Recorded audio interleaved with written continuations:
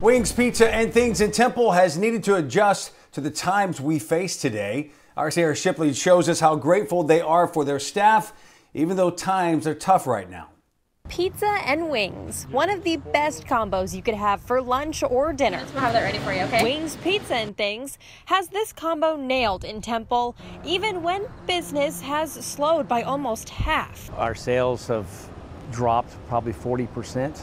Despite a sales decline, owners Mike and Jessica Dent are praising their staff for stepping up. Always tell our staff how thankful we are for all of their hard work and you know, everybody's world has been turned upside down, but everybody seems to be adjusting well. These entrepreneurs have been able to keep 90% of their staff. A lot of that, I'll be real honest with you, is because of the community. Any server will tell you they rely on tips, the tips that the customer leaves. The community support's been amazing. The tips have been great. And just people coming by and just putting money in the jar. Even though the morale is staying high, Dent says there is a sense of loneliness at his restaurant now. When you come in and, and we don't turn on all the TVs, we don't have that hustle and bustle of all the people. Dent and his crew are ready to get back to the way it was before. Well, I don't like the new normal.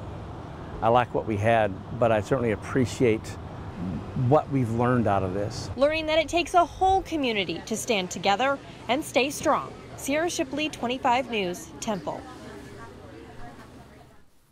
Hours have changed due to the pandemic. They are open Tuesday through Saturday, 11 a.m. until 9 p.m., and Sunday, noon until 8 p.m. To find their deals and family packs, you can visit our website at kxxv.com.